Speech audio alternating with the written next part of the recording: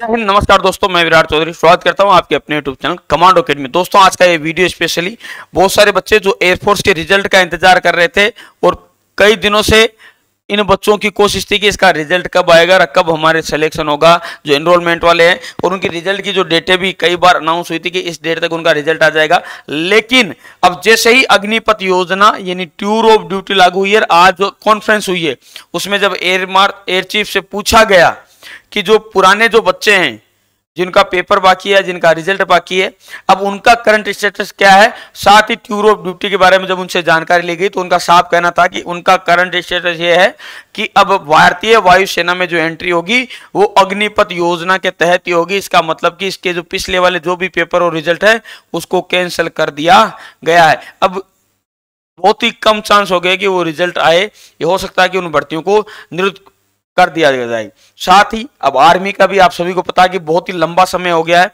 तो आर्मी का भी पेपर की कोई डेट या कुछ नहीं है। हो सकता है कि पेपर इसका भी रिजेक्ट किया जाए, लेकिन इसके भी ऑफिशियल कोई जानकारी नहीं है, क्योंकि आर्मी चीफ से ऐसा कोई क्वेश्चन पूछा नहीं गया तो उन्होंने इसके बारे में कोई प्रतिक्रिया नहीं दी। जब एयर चीफ से पूछा गया था तो उन्होंने साफ़ साफ़ सीधे तौर पर कहा कि अब भारतीय वायुसेना में केवल एंट्री का एक ही रास्ता है, वो है टीओडी ट्यूर ऑफ़ ड्यूटी इसके अलावा कोई रास्ता नहीं है। इससे पहले का चाहे कोई भी स्टेटस रहा हो, कोई भी रिज़ल्ट या पेपर रहा हो।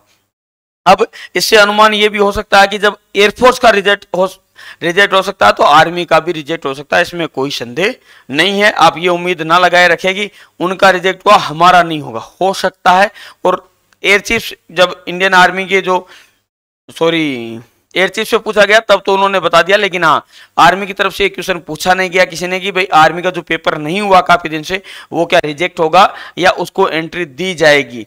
जहाँ तक मैं आपको बता दूँ 99 परसेंट ये मान के चलिए कि जब एयरफोर्स का रिज़ल्ट रद्द कर दिया गया है तो आर्मी का भी रद्द किया जाएगा या हो सकता है रद्द किया जाए। अगर इसके लिए आप मांग उठाए तो बहुत अच्छी बात है कि इस पेपरों को रद्द नहीं किया जाए, क्योंकि इन बच्चों के साथ में खिलवाड़ है। जो बच्चे काफ़ी समय से तैयारी कर रहे हैं आर्मी के पेपर की, और जो बच्चे रिज़ल्ट का इंतज़ार कर रहे हैं एयरफोर्स में तो ये उन बच्चों के साथ में बहुत बड़ा खिलवाड़ अगर ऐसा होता तो ये गलत है। कम से कम उन बच्चों को एंट्री देनी चाहिए भारतीय सेना में, जिसके तहत उन्होंने फॉर्म भरे थे। ऐसी पॉलिसी, ऐसा राइट्स होना चाहिए कोर्ट में, और होता है ऐसा।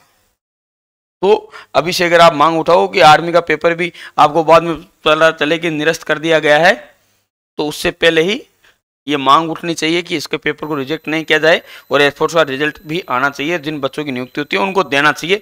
उसके बाद में अग्निपथ के द्वारा एंट्री करानी चाहिए।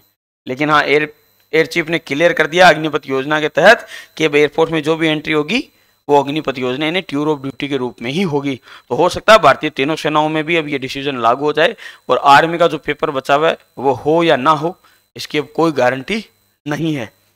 अगर पहले ही आप एकजुट होकर आवाज़ उठाते हो तो मेरे ख्याल से ज़्यादा बेटर रहेगा। जय हिंद, जय भारत।